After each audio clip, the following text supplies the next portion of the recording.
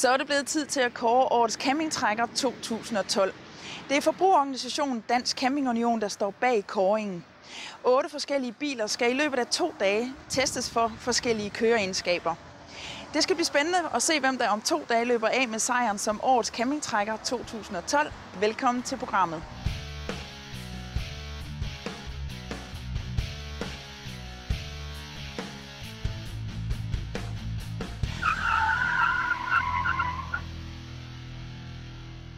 Den første finalist i de nominerede biler er Citroën C4.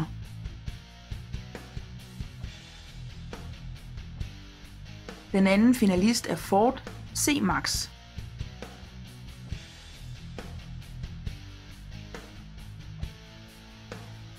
Den tredje finalist er Hyundai i40.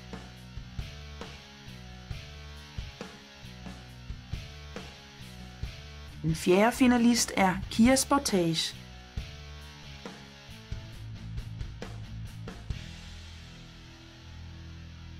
Den femte finalist er Mitsubishi ASX.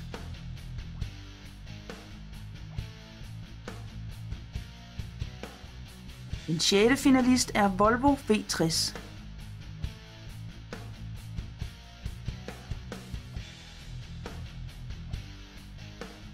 Den syvende finalist er Peugeot 508.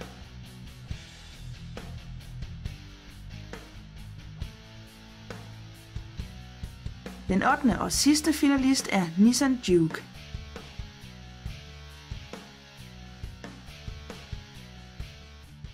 Dansk Camping Union har i år sammensat en jury, der blandt andet består af førende motorjournalister. Lad os høre, hvem der sidder i juryen. Brede Petersen har i mere end 40 år kørt hos Færdselspolitiet og privat rejst med campingvogn i hele Europa. Carsten Tegner har mange års erfaring som motorjournalist, blandt andet på Erhvervsbladet. Jørgen e. Petersen arbejder til daglig som motorjournalist. men tester ligeledes alle campingtrækker for DCU's medlemsblad Camping og Fritid. Torben Brandt er campingjournalist på Dansk Camping Unions medlemsblad Camping og Fritid.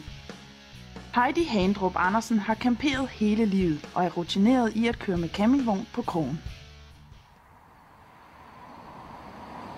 Det er faktisk en, en bil, som, som kører meget behageligt, øh, og man, man, den, man mærker faktisk ikke, at man har noget på slæb.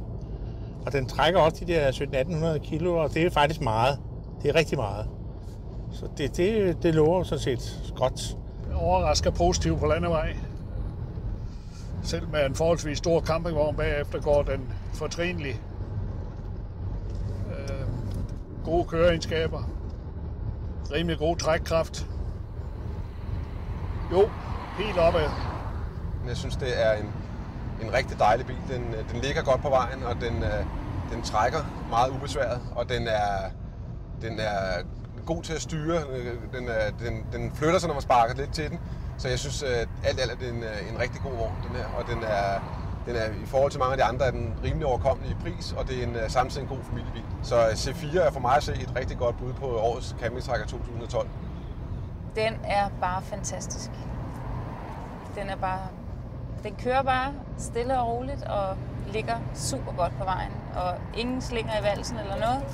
Den er fantastisk. Det ligner en firehjulstrækker, det er ikke en firehjulstrækker. Det ligner en stationcar, det er ikke en stationcar. Det kunne være en familiebil, det er det heller ikke helt. Øh, den er sådan alting lige midt imellem. Jeg synes, det er en, en, en rigtig, rigtig god bil i virkeligheden. Jeg synes, der er god plads i. Jeg synes også, det er et parameter, at det er, altså, hvis man er en familie, er der, er der god plads i den. Der er højt til loftet, og der er, der er god benplads i den. Øhm, den kører, kører dejligt. Man skal, skulle næsten tænke efter, man har noget på, på krogen. Og den øh, kører jo stille og roligt, og øh, næsten for stille og roligt, for der er ikke rigtig noget træk i den motor, synes jeg. Når jeg laver kickdown på speederen, så skal der ske noget. Det synes jeg ikke rigtigt, det gør. Og så kommer den helt store positive overraskelse ved sådan en Kia Sportage 1.7 her. Den må køre med fornemme 1200 kilo på krogen. Det er simpelthen fantastisk, at det kan lade sig gøre. Det er den største hjerneblødning, Kia har lavet til dato. Det er at lave 1200 kilo påhængsvægt til sådan en bil.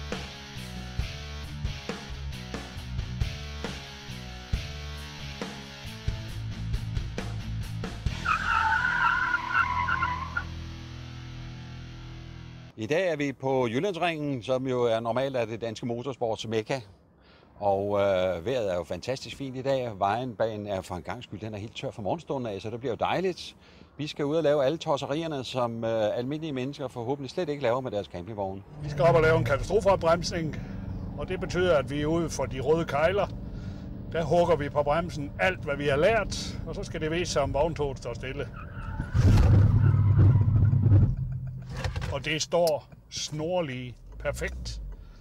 Og man kan mærke her, at ABS'en slår til. Det er der ikke på campingvognen, derfor vil den lave blokader. Men der sker ikke noget, den bremsede godt og lå lige bagved. Helt perfekt. Den har en lidt længere bremselængde end Peugeot for eksempel, men den er jo også lettere og mindre bilen og har samme vægt på. Så det kan godt have noget med det at gøre, men ellers så synes jeg faktisk, den, øh, den reagerer, på, reagerer godt øh, og føles sikker at køre i. Vi ved, at vi kan nå de 100 uden problemer, inden vi når op, ja, sagt 105 siger den så. Og så...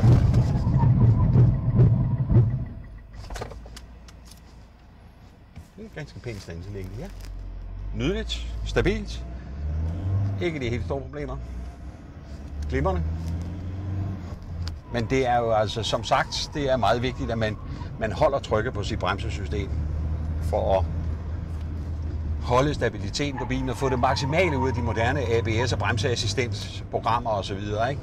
Og det er sådan lidt unaturligt. Ja, vi skal lave en dobbelt undvimanøvre her i Hyundai'en, og øh, den skal vi lave her nu. Se, hvordan det virker.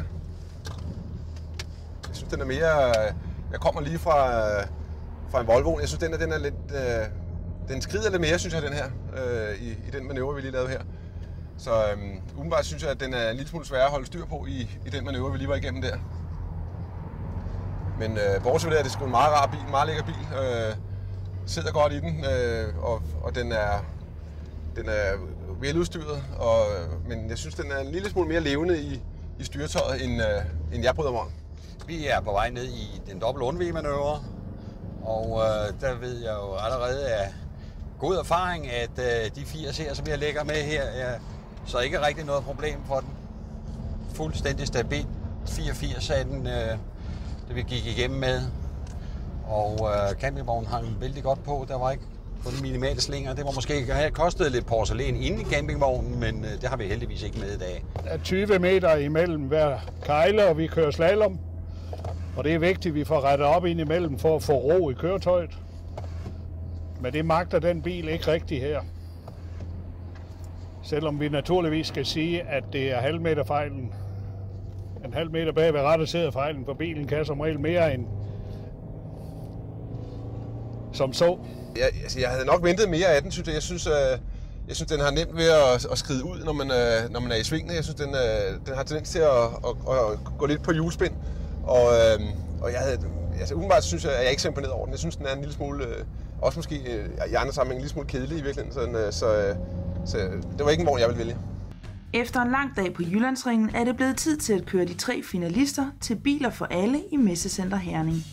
Udstillingen Biler for Alle handler om alle slags biler. Kåringen af årets biler finder også sted her, så rammerne er i den grad på plads for at kåre årets campingtrækker 2012. Så er de otte nominerede biler testet på henholdsvis Landevej og FDM Jyllandsringen. Selve kåringen af årets campingtrækker 2012 sker her på Biler for Alle i Messecenter Herning. Og der er tre biler, der er gået videre til selve finalen, og det er Citroën, Peugeot og Volvo. Og øh, så kommer vi jo til det. Spændingen skal udløses. En af de tre biler, vi står med her, er årets campingtrækker i Danmark 2012. Årets nummer 3 står til højre for mig. Det er Citroën C4 med 21 bring.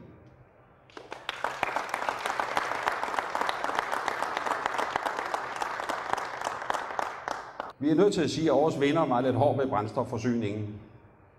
Den øh, tankmåler, den har der altså med styrtdykke lidt, når der kommer en trailer på krogen. Det må vi så leve med, at den så skulle være en officiel miljøklasse A-bil. Det glemmer vi lidt her lige i farten. Den får den berettigede kritik med på vejen. Den fås også med manuel gear, og det vil sige, at årets campingtrækker 2012 samtidig er den dyreste i feltet, og det er også første gang, det er sket. Volvo V60. Tillykke til Volvo.